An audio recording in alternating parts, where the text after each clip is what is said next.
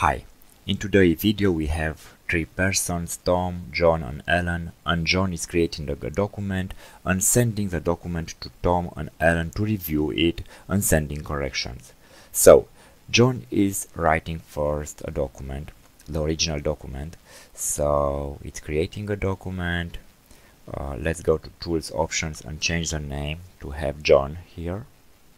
Uh, we want to play the role of John now.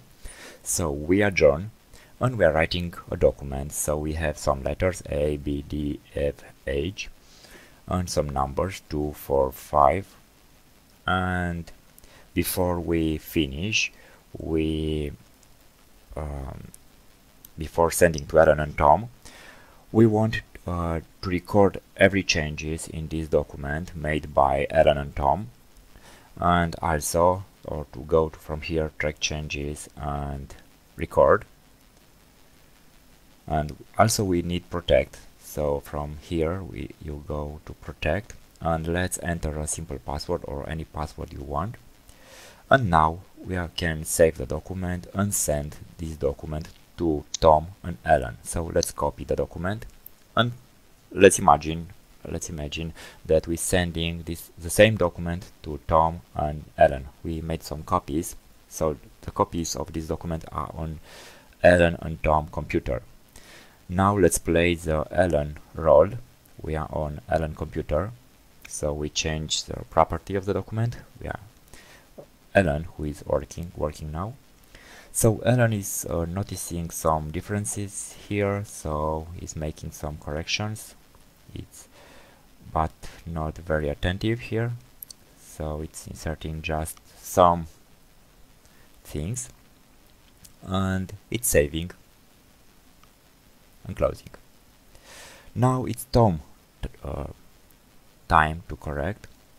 Let's change the role. We are now on Tom computer. We have the same original document.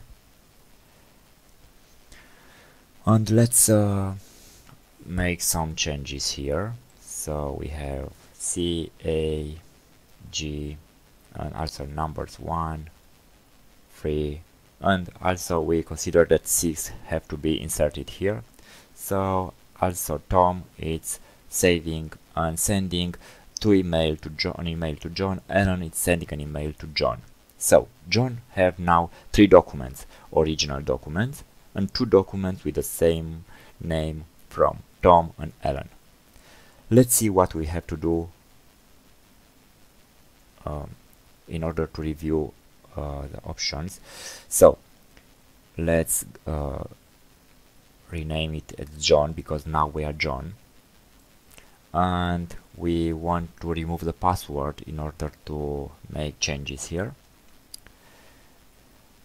And let's um, we have now it's okay. So we want now to merge documents. So we press here and we're taking the first document from Ellen so we take and unclose this and now let's take the document from Tom. Okay and close this. So we have all the changes Tom and Ellen have made to John document so we are John and we want to review all the changes. So we have um, a tool in order to help us. We can see every detail everybody what was changing. So let's take first modification. We have a C from Alan and from Tom. Let's accept from Alan and reject from Tom because I already accepted from Ellen so I'm rejecting the second C. Okay. Now we have uh, an A from Alan and from Tom.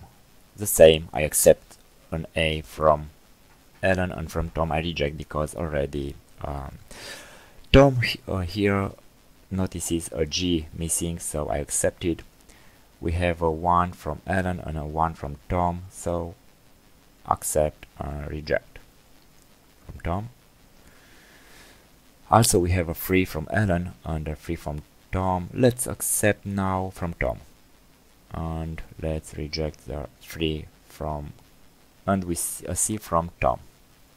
He notices this I accept that I need a 6 here and I accept. So I merge all the documents into this document. So it's very useful to have this tool. How we can access these uh, tools we have this toolbar here in the bottom. Um, we can activate it uh, from this tool.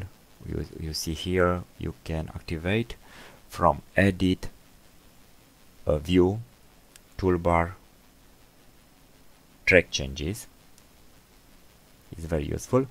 Or if you want you can go to edit track changes and you have the same comments here or here. So thanks for watching and please subscribe